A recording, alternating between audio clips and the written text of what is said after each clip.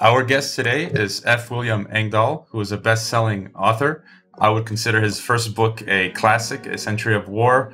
Um, it's sort of being made into a documentary, I believe. Uh, Sean Stone, the son of uh, Oliver Stone, the filmmaker, is releasing a, a documentary on Russia today uh, very soon called The Century of War. Uh, William Engdahl has also written Seeds of Destruction, uh, Gods of Money, as well as uh, his latest book, which we'll be talking about, The Lost Hegemon, uh, Whom the Gods Would Destroy. His books have been translated into over a dozen uh, languages, and he is, he is a consultant who travels, uh, travels the world. Thank you for joining us, William. I'm always glad to be with you. Well, a student told me today uh, that today was the grand finale of America, to which I thought he was speaking of some Netflix TV show but he was jokingly referring to the end of the American uh, democratic experiment because we have oh. elections today. And uh, that's kind of the theme uh, in the title of your latest book, The Lost uh, Hegemon. And uh, you hold up the, the cover of the book because uh, it's so important. A little bit higher. There we go. let me explain the cover. The Lost Hegemon, of course, is the United States post 1945. Hegemon controlling pretty much the whole world, but uh, indirectly, indirectly. And the lost hegemon, the flag is purportedly from the wreckage of the World Trade Twin Towers, or Three Towers. And that more or less symbolizes the state of the United States of America today. The democracy, so called, has become an oligarchy in my lifetime, but certainly in the last, uh, let's say, 35 years, since the 1980s. Every major law passed by the United States Congress has benefited the 1%. This has been documented by a Princeton sociology professor who analyzed all the major pieces of legislation. The Obamacare medical insurance the beneficiaries are a handful of medical insurance companies who are charging rates through the roof, not the uninsured or the people of the United States. It's a, a looting scam. Uh, most of the laws passed since 1980 are passed on the interest of people like David Rockefeller, like Warren Buffett, like Bill Gates. And they're not in the interests of the American people. So this uh, American democracy, uh, I call it Whom the Gods Would Destroy, is the subtitle. The book is actually about uh, the Muslim Brotherhood. And this is very, very timely right now because, as I wrote in a piece that was published on the website NEO out of, out of Moscow a few days ago, the real Humagate scandal is the Muslim Brotherhood. The 650,000 emails that the FBI uncovered in the laptop of Huma Abedin, the person closest to Hillary Clinton for 20 years. I won't go into details of what's alleged about the closeness. I'll just say that she has a very special relation to Hillary Clinton, an intimate intelligence relation where she has access to everything that Hillary had access to, and including the illegal servers, the private servers. 650,000 emails. Well, Huma Abedin is a member of something called the Muslim Sisterhood, which is the female arm of the Muslim Brotherhood. What is the Muslim Brotherhood? The book is about this. It's the, the leitmotif of the entire book. The Muslim Brotherhood was created as a co project of certain circles in Egypt in the 1920s, Hassan al Banna, but by British intelligence also. And it's a death cult. It claims to be about the good ideas of Quran and Islam and so forth, but it's a death. Death in the name of Allah is the highest honor. Killing infidels is the highest honor. This is in the teachings of the founder of the Muslim Brotherhood when Mohammed Morsi, under the operation that Hillary Clinton as Secretary of State launched, called the Arab Spring in Egypt, when Mohammed Morsi became president of the Uh, of, of Egypt, Muslim Brotherhood, that was a United States, a Washington guided operation to put in an organization, a secret society, a death cult that was guided and steered by the Central Intelligence Agency and the U.S. Department since the 1950s. Yeah. Okay. Uh, just to just to step back a bit, because uh, you know, I, I, there's other books. People, you know, this is really good and it's very timely, as as you mentioned, and other books that I've purchased as a result of your reference. Uh, you've referenced the Richard Mitchell, the Society of the Muslim uh, Brothers, and the Devil's Game by Dreyfuss. Um, but was when it was created at the beginning, was it? You said with British intelligence, but who had the founding role? I mean, were these radical Muslims? Did they create it first for their ideological purposes, and then the Brit- British came in, or it has nothing to do with religion? I'm convinced.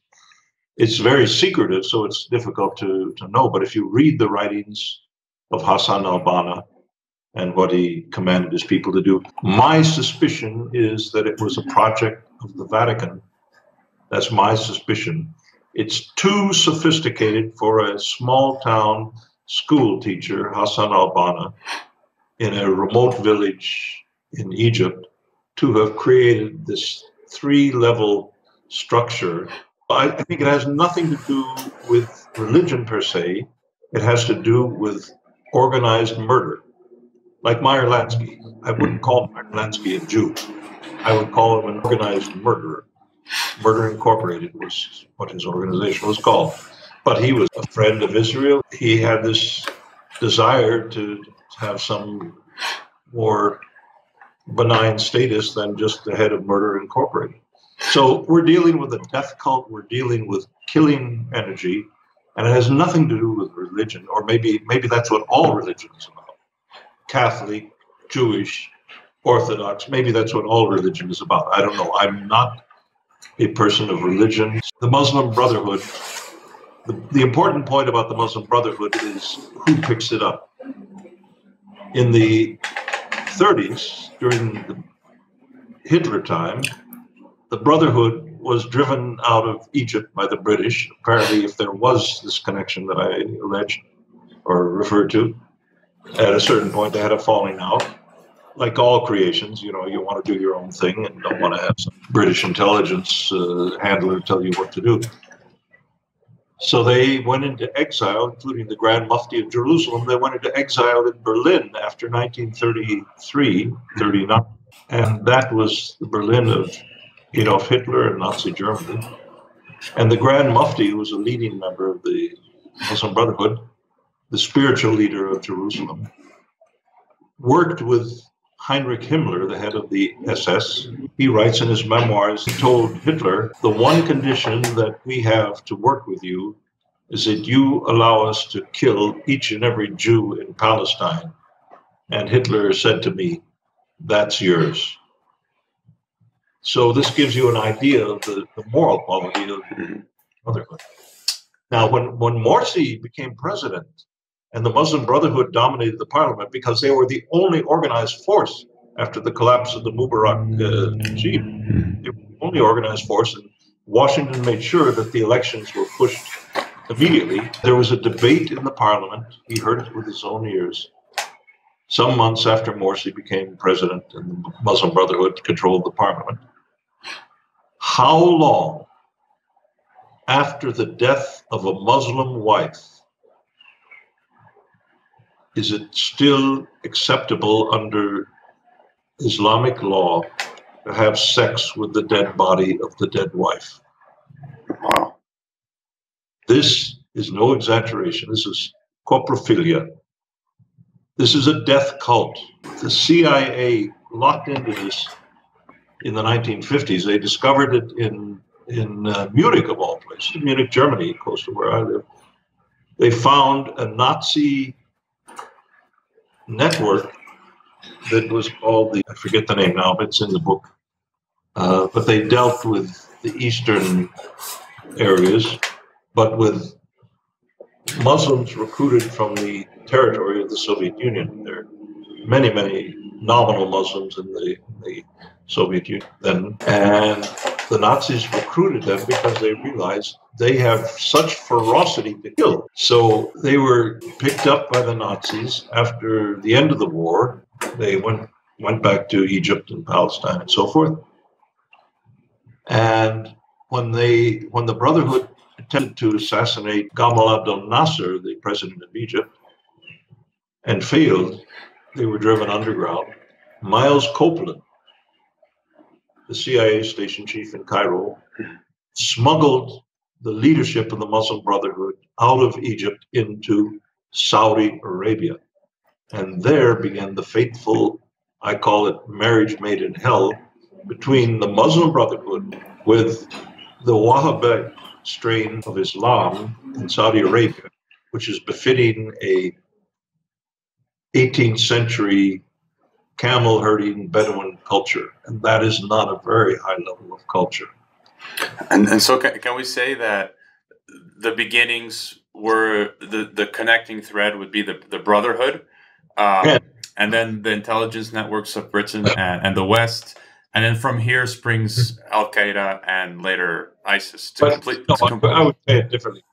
I would say after the war, the move to bring by the CIA to bring the Brotherhood into Saudi Arabia created a marriage between the Brotherhood and Wahhabism, this ultra, ultra reactionary, feudalistic Muslim ideology where women, to show more than the eyes, is to be an obscene whore uh, talk about repressed women, and to drive a car, to walk down the street without a relative, a male relative at your side, means you're a whore, a prostitute. Uh, this is a pretty sick belief structure. I won't call it a religion, it's a sick belief structure. But the belief structure happens to have, or had until recently, hundreds of billions of dollars of oil money. so what happened after the 50s and the 60s is that Saudi money financed the creation of the Muslim World League in Jeddah. The Muslim World League was the evangelical, if you want to call it that, arm of the Muslim Brotherhood going out into Pakistan, into Afghanistan, into all over the Islamic world where it was possible.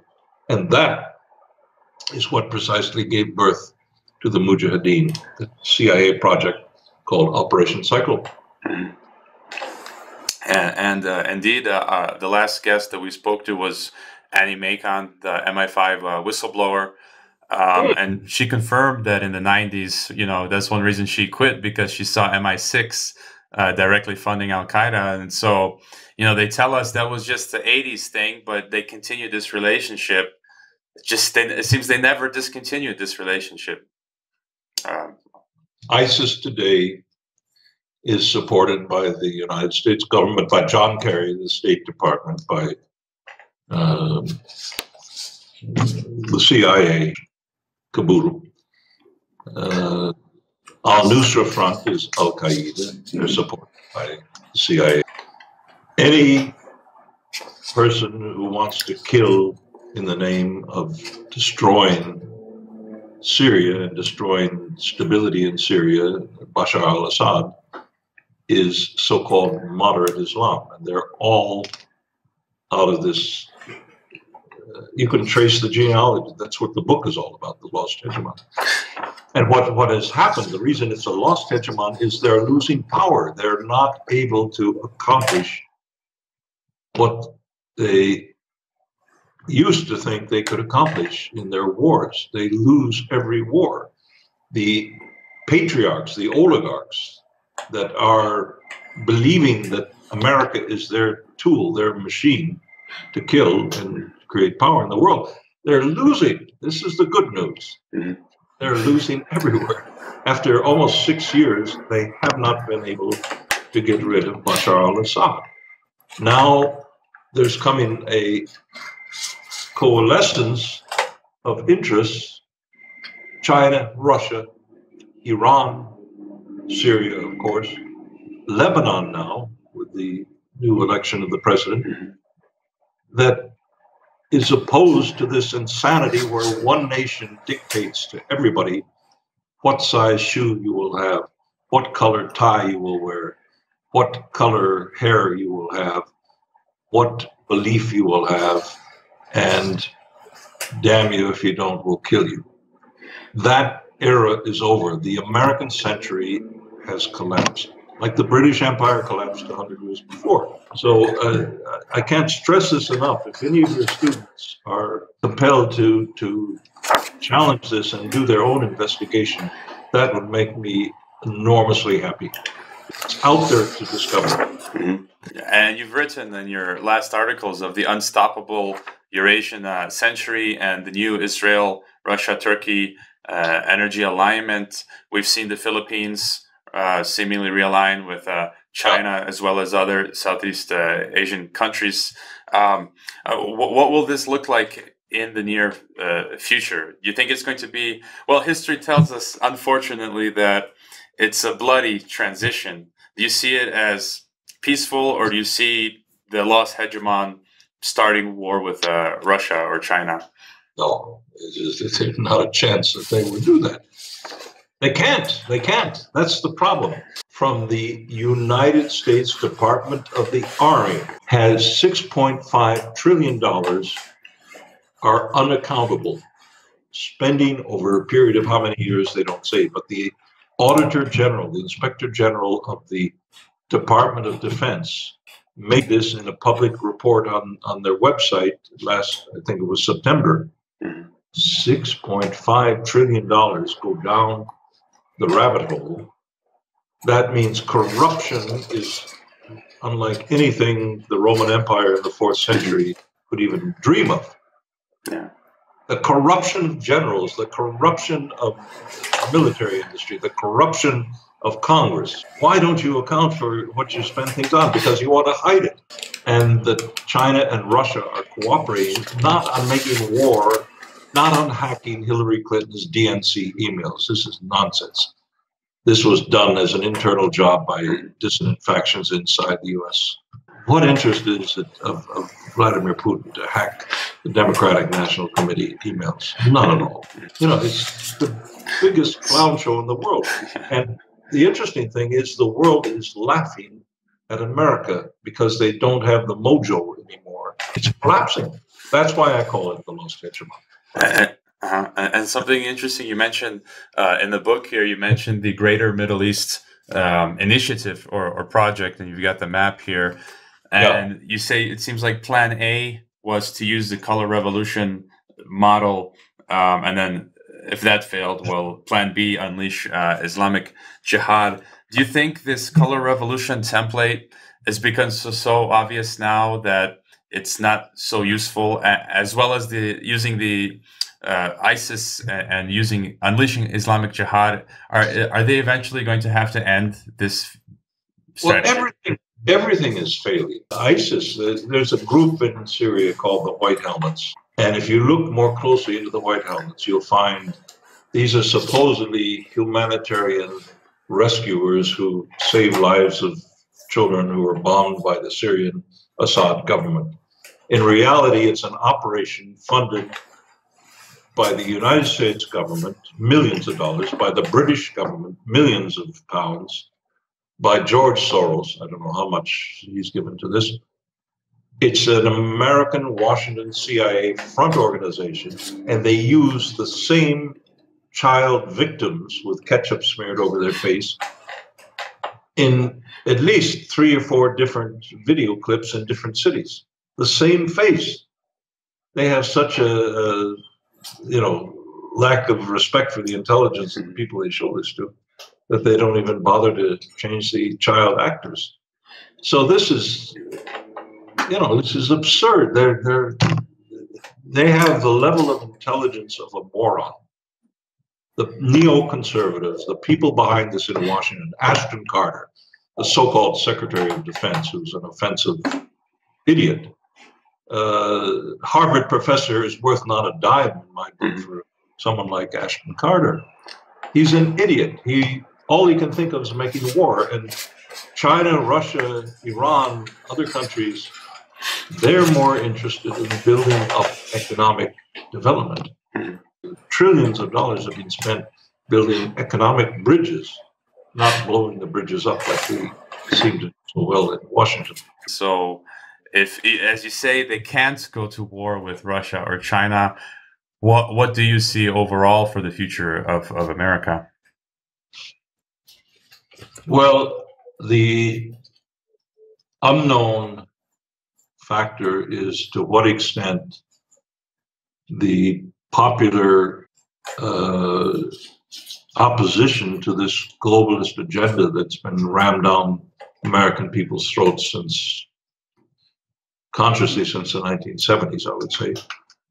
Uh, how deep that goes. If the American people, regardless, Hillary versus Donald Trump is a choice between evil one and evil two. Donald Trump already has made known that he's going to have a former Goldman Sachs officer and George Soros uh, uh, intimate as his Treasury Secretary designate if he's elected. He's given the choice of pre cabinet selections to the same lobby groups in Washington that control the game for Democrat or Republican for the last 30 years. So Donald Trump is a liar. He's a criminal. He's a casino gambling uh, mafia figure. Hillary Clinton is a liar. She's a criminal. Uh, she and her husband have not only peddled influence, they have promoted a death cult and uh, terror and treason all around the world called the Muslim Brotherhood. That is Hillary Clinton. So, plus the fact she is so ill, were she to be uh, deemed the winner in the election, it would be by electoral machine voter fraud. Uh, I'm convinced. Were she to be proclaimed like Newsweek did a day early, they made a little tactical slip. Uh, they proclaimed uh, Madam President, in a picture of Hillary on the cover. Uh, that may go down in history, however, like the, uh, uh, the Truman Dewey election in 1948, where the, I think it was the Chicago Tribune had a picture of Dewey. Who's heard of Dewey today? but they had Dewey picked as, as the winner. So, uh, but regardless of who wins, the credibility of the United States of America. This is the lost hegemon. The credibility is collapsing. The the tenor, the, the content of the election campaign, talking about the size of the male sexual organs of Donald Trump because of the size of his hands in the Republican debates, or talking about who's raped how many people as Hillary and, and Donald Trump exchange in their debates uh, you know, you can't get lower in the gutter than, than this, but that's because neither candidate can tell the truth mm-hmm. about anything that they're talking about. So I think the credibility of America is, is sinking. And what is the open question? Will there be a genuine moral alternative that comes out of this debacle called the 2016 elections? If that is the case, then I think there's great hope for the United States. Yeah, we've got books like The Fourth uh, Turning that tell us about history's cycles and out of crisis. Hopefully, we get some sort of uh, reformation or, or, you know, going back to basics. Um, any final closing thoughts or, or, comments to Americans or citizens of the world wa- watching these events? Closing comment I would make is one I make to myself. I am responsible for everything that happens to me in my life. You are responsible for everything that happens to you in your life. American people are responsible for everything that happens to them in their life. They're responsible if they choose a homicidal maniac as their president. That is their wish. So if we want a better world, we should look who we are and look at that honestly, if we do that with love, then I'm very optimistic that we can achieve miracles. Right now, it looks pretty black. Some people talk about World War III. I, for one, refuse to believe that we're on the brink of World War III. It won't happen. I can tell you that right now. Disturbed energy out there is, we're in a phase shift. We're ending an epoch of war and destruction. And that is fading. And so I, I think it's, it's a rather positive perspective if we believe in ourselves. Again, the book is The Lost uh, Hegemon, people can pick up, as well as your other books like uh, Gods of Money and Century of War. Um, and finally, how can people best support uh, you and your work? The best is by purchasing the books through Amazon. All over the world, you can get it through Amazon. And go to my website, williamengdahl.com, and there you will find free content of all my published articles. And also, if you agree to subscribe, and, and uh, you can get a free twice monthly newsletter of excerpts of chapters or parts of chapters from uh, my major books. So there's a donate button. I, I work completely free from any contractual obligation to any employer. I, I work independently. Uh, I've tried the other way and it was a disaster. And I want to be free to be who I am and express what I express. So if you agree with what I say, and more and more people are doing that, then make a donation. Think about making a donation. Buy the books, williamengdahl.com.